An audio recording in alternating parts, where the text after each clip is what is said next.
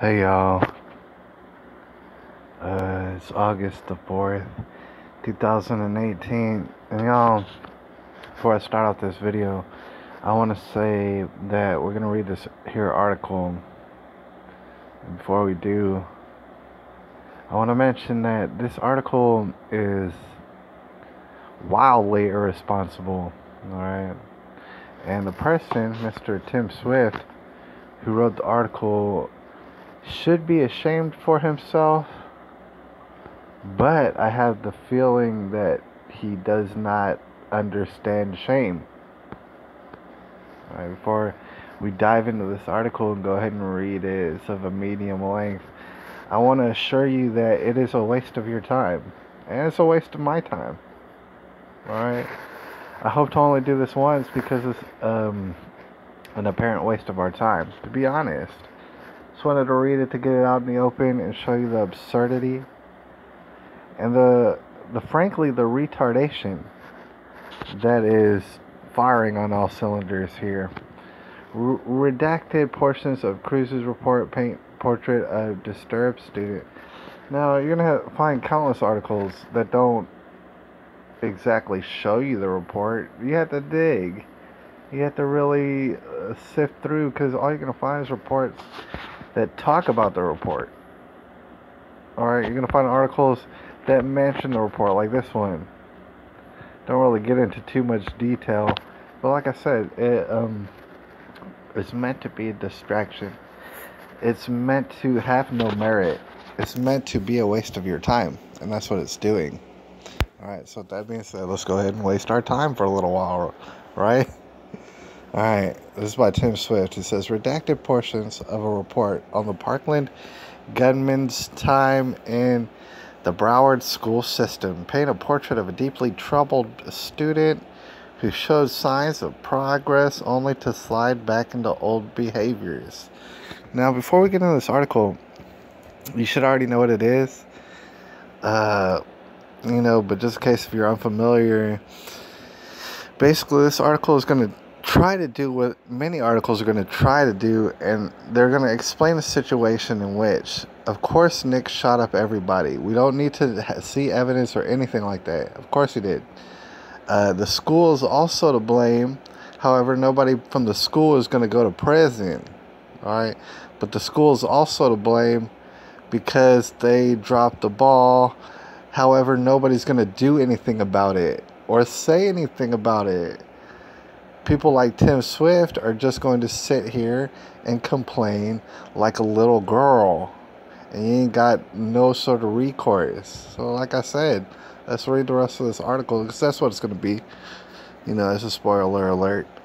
Throughout the more than 15 years Nikolas Cruz spent in Broward County school system, staff members reported uh, violent outbursts and antisocial behavior, in which none of this is going to be described in detail to you.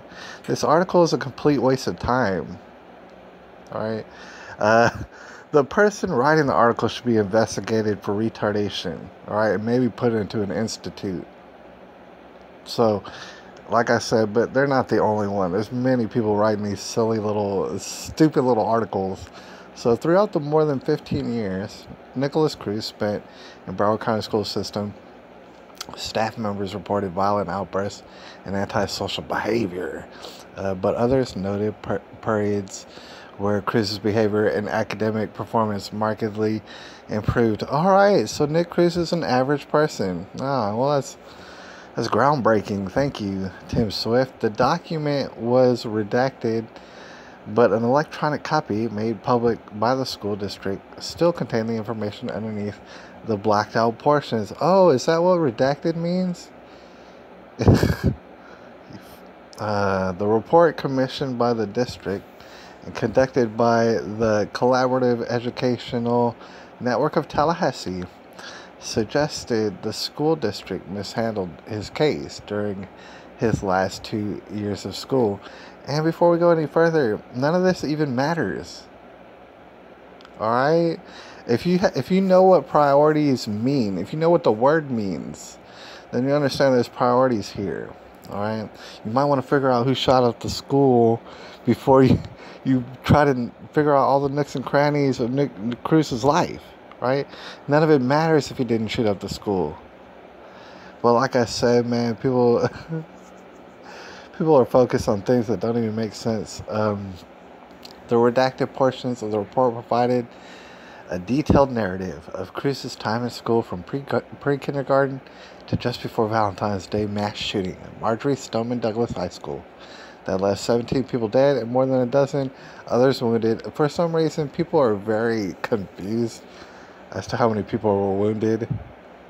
It may or may it be it might be anywhere from 12 to 17. Who knows? Who really knows? Who cares? By the way. The report said that Nikolas Cruz began receiving uh, services from the school district at three years old. Just three years old, little. I mean, I know three year olds, right? I've I've known three year olds before. So let's go ahead and st- let's go ahead and just keep going. The report said that Nikolas Cruz began receiving services from the school district at three years old after he was asked to leave a pr- private pre kindergarten because of his behavior, including kicking and biting. Listen, they're talking about a three year old little child. All right, none of these details are anywhere near appropriate, nor do they get us anywhere, nor do they tell you anything about Nick Cruz at all, period. All right, you're talking about a three year old little kid got kicked out of class for kicking and biting. You're trying to say that as if it's even uh, relevant to this uh, whole situation, and it isn't. The district placed him in a special education program called Exceptional Student Education, or ESE, some silly, stupid name, because of behavioral and developmental issues. Okay. So, so Tim Swift, he's going to give us some real insight. Well, here's what we really need to know about the animal fantasies, in case this couldn't get retarded enough. During his early schooling, Cruz struggled with aggressive behavior and had animal fantasies. Hmm, that sounds interesting. The report said, leading the district to have the boy, then five years old, evaluated by a psychologist. I mean, if this wasn't a waste of our time already, I would be forced to ask you, oh my God, you took a child to a psychologist over being five years old and pretending to be an animal. That's what y'all did. That's what y'all did. All right, the student seems to identify as. uh, somebody actually wrote, the student seems to identify as an animal. Well, he probably didn't know there's all sort of animal genders now. I mean, you could be anything you want, right? It's 2018. He's just before his time. That's his problem. The student. Let me read this quote. The student seems to identify as an animal he often crawls on the floor or, or ground, pounces on another student, makes seemingly animal like growling sounds and grimaces while holding his hands in a paw like manner. See, this is when they took him to the psychologist.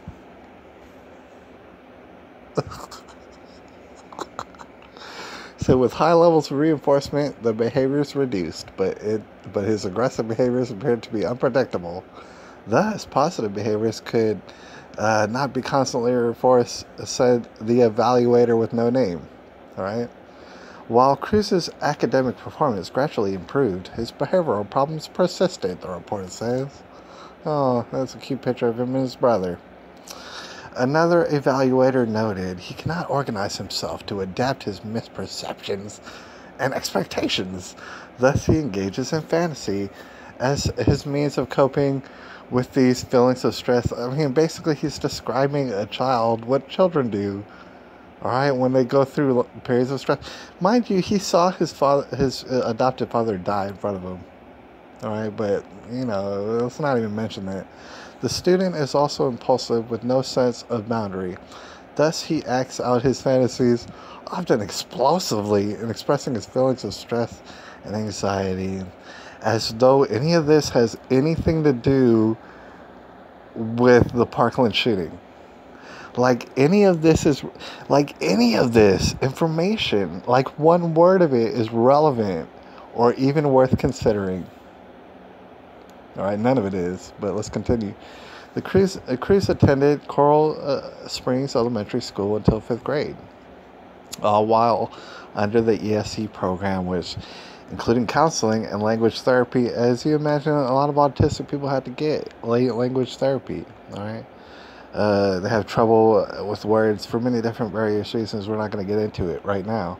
But the report noted that Cruz's mother, Linda, was intensively involved with Cruz's counseling and schoolwork. That, that sounds good, doesn't it? So while Cruz had trouble controlling his temper, a staff member in 2006 gave Cruz a mixed report. This is another staff member who doesn't have a name, doesn't need a name. We don't need, we don't need to know who says what. We don't need evidence or anything like that.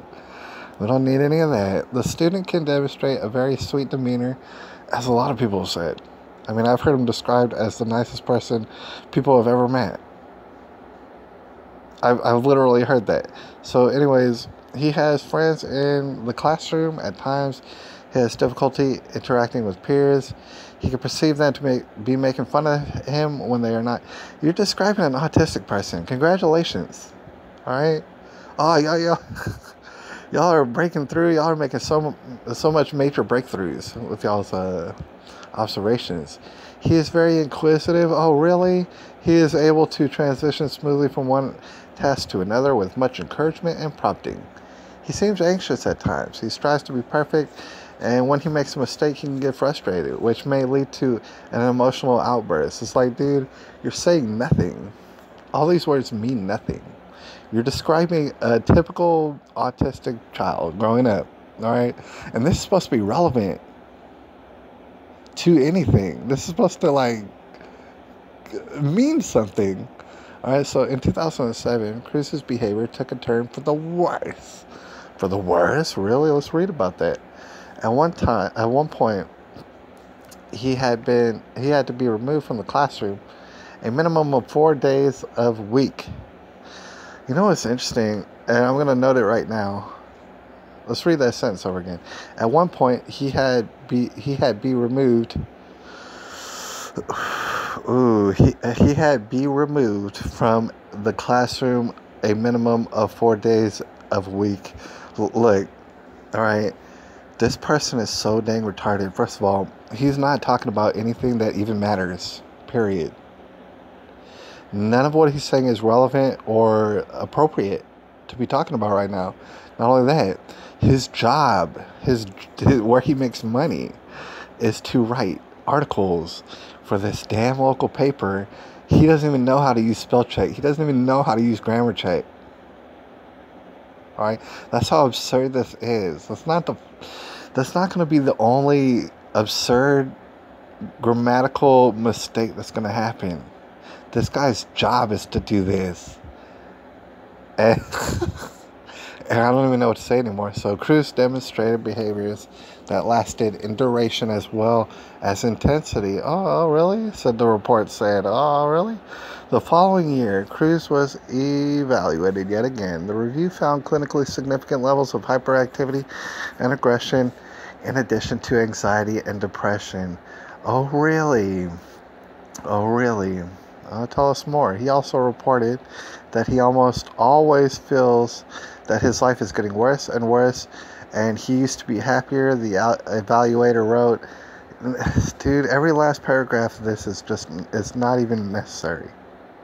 Like, I mean, you might as well. Uh, uh, that's me. Oh, guess what, dude? How many people's lives are getting worse and worse, and they used to be happier?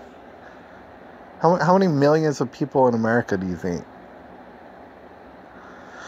So, as he left elementary school and moved on to West Glades Middle School, his teachers noted a marked improvement in his behavior and academic performance.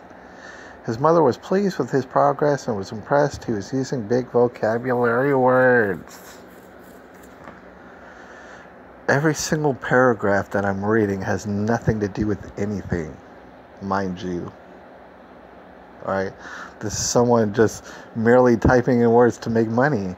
Teachers reported fewer outbursts but noted that he struggled to make friends. Oh, really? He's autistic. Oh, man. It's something like, I guess this is all new to y'all. I guess, I guess uh, this is your un- unfamiliar territory.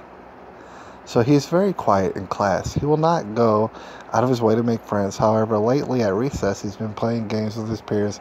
Many times he needs to be asked by others to socialize within a group, one report read. See, this whole article, all it could really do, I mean, all it would have to do is say Nick Cruz is and used to be autistic. And the end. That, that would have been the end of the article. And who would have needed to read a dang word else. All right, none of these words have any meaning or any use. Starting in 2012, Cruz's behavior declined again. He started to receive in school suspensions after he repeatedly used profanity and, and addressed a teacher by his first name. That's actually just funny. That's actually pretty funny. By seventh grade, he received his first out of school suspension after fighting in the cafeteria. Oh, he must be a murderous killer. During this period, school officials recorded 19 significant incidents, including when Cruz set off a, a fire, a, a false fire alarm. But as he reached ninth grade, Cruz found new purpose, and, be, and the behavioral problems subsided. He told teachers he wanted to go to, into the military and graduate from a regular high school, which seems to add up when you think about it. I mean, Nick Cruz liked weapons. Uh, you know what I'm saying? He wanted to be like, he wanted to kind of fit in and just go to a regular high school. Later on, he talked about going to a trade school and things of this nature. He was an average guy, basically, and he still is. All right. Although his teachers, now at Cross Creek School, were pleased with his improvement, uh, their reports sounded, uh, sounded notes of caution. Cruz was described as being goaded into jumping off the back of a bus. Like, like we've already discussed, Cruz could be convinced to do things. All right, perhaps dared into doing things, if that makes more sense. Into jumping off the back of the bus, into uh, setting off the fire alarm and to shooting off a shotgun out the window. I mean, he was he was convinced to do a lot of things. In another incident, a classmate punched Cruz after he used a racial slur. Like n- none of none of the details they're bringing up have any merit. Like I said, it's, it's inconsequential.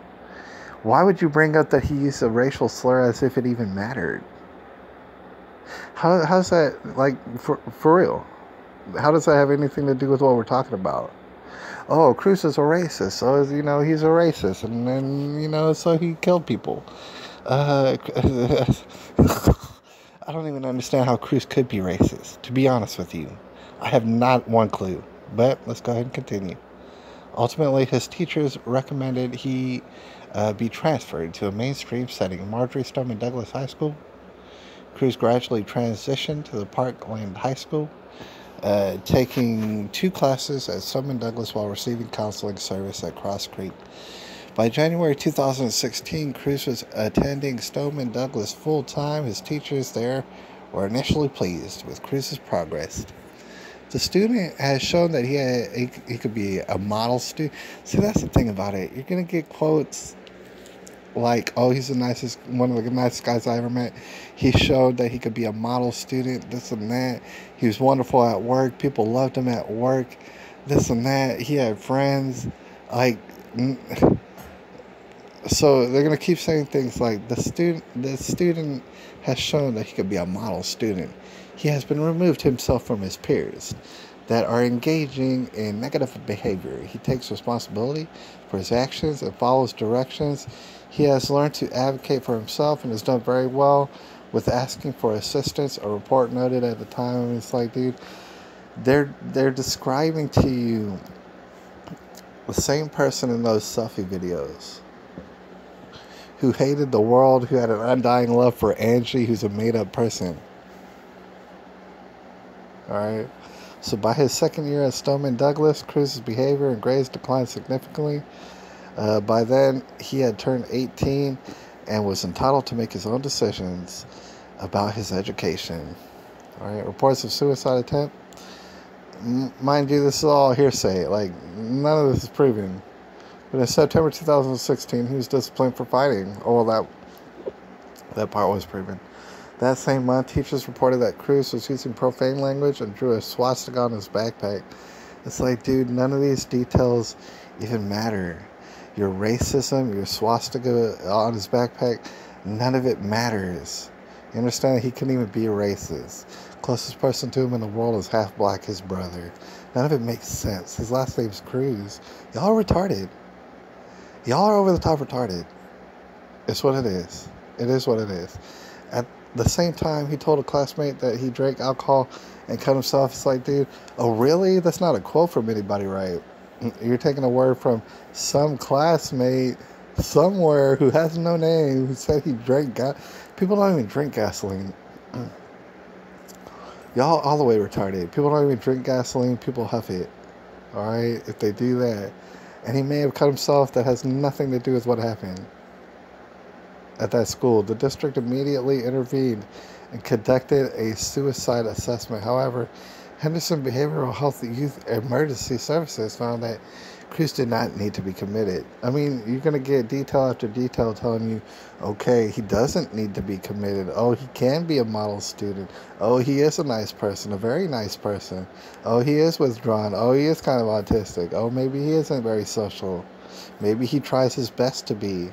You, all these details over and over and over and over. They're expecting you to just forget it. The report also confirms that the st- school district knew Cruz wanted to own weapons. It's like, that's a paragraph all unto itself, isn't it? That Cruz wanted to own weapons. Just, just by Cruz wanting to own weapons, that makes him a criminal. You understand? You understand? That whole paragraph said, oh, Cruz wanted to own weapons. What does that mean? Does that mean anything? No, of course it doesn't. Mother was called this morning, and all the incidents were discussed. Student is begging mom to get him a Florida ID so he can buy a gun. Mom thinks it's not a serious matter at all. The Youth Emergency Services team and Henderson was called in, a report noted. So, a young man told his mother he wants to get an ID so that he could buy a gun, and his mother uh, didn't really see that as much of a problem. And so they called in some government team to come look into it. Because what he said to his mother that didn't upset his mother at all.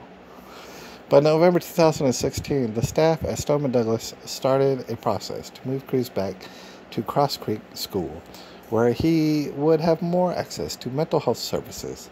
However, Cruz, now 18, refused to consider the transfer, and his mother supported decision his decision. So Cruz decided, well, I, I just want to graduate at a regular high school. His mother said, okay. And I don't know, somehow people had a problem with that.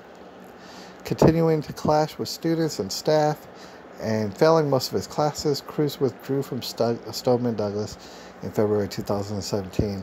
He would not return for more than a year, whatever that means. Return in what?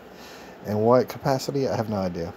From Stoneman, Cruz, uh, Cruz would move on to two vocational schools. He had few outbursts or problems in these new settings, but Cruz was cut off from special services of the ESE program.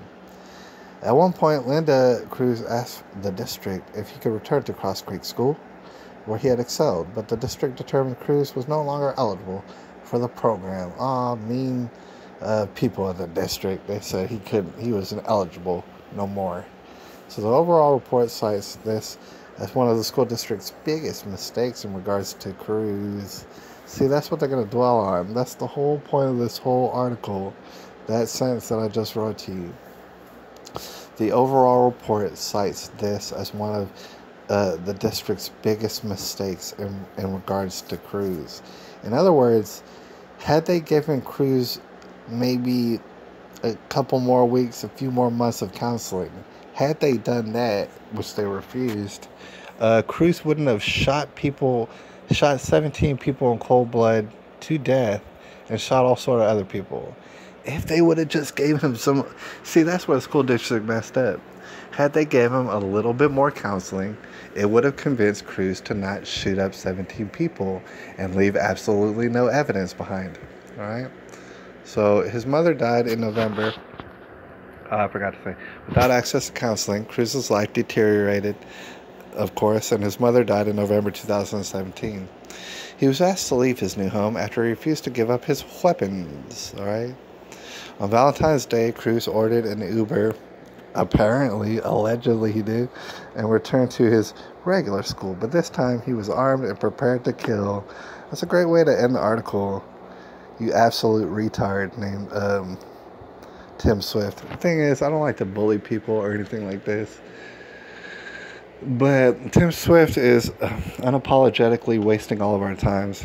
He's um, I forgot to cover all the different grammatical errors. I guess I just kind of compensated for them, but there was a lot of them. Tim Swift absolutely does not know how to put sentences together. He doesn't know how to put details together, anything like that, man. And that's why I had to call him out. If Tim Swift wanted to have like a um, a conversation, a real conversation about this whole thing, we could. But Tim Swift just wants to do hack jobs and he wants to basically phone it in. He doesn't want to hardly put any work into this. He wants to make his little headlines and write about stuff that doesn't even make no damn difference at all. Meanwhile, like I said, the whole point is, and him and countless hacks across this nation are going to write the same exact article the school district failed us. The school district failed us. But meanwhile, there's nothing that we can do. There's no re- there's no recourse to take, anyways. There's nobody that we can literally point at them and blame them for the situation. The idea is, is that we're supposed to um, throw Nick Cruz into jail for life. No evidence required at all. Number two, we're supposed to complain about how the school district could have done more to help Nick Cruz. Uh, we're supposed to complain and complain and complain, but meanwhile, nobody's going to get fired. Like, nobody's going to jail over it. In fact, nobody could. There's no way to do that. There's no way to put people in jail for this. Alright? For simply dropping the ball the way that they did. And, and we could blame them all day long if we wanted to do it. It's going to get us nowhere. In fact, it's absolutely a distraction from what's really important. Who killed those children inside that school allegedly? Want to know. I want to know. Tim Swift couldn't care any less. All right. You couldn't you couldn't pay Tim Swift to care at all. All right. Him and all sort of nameless uh, jabronis out there writing, writing for their national publications, getting all sort of money. Why? To waste our time. It's August the 3rd, 2018, or the 4th, and I'll holler at y'all later. I just had to get that off my chest, man. I appreciate y'all, and I'll holler at y'all a little bit later.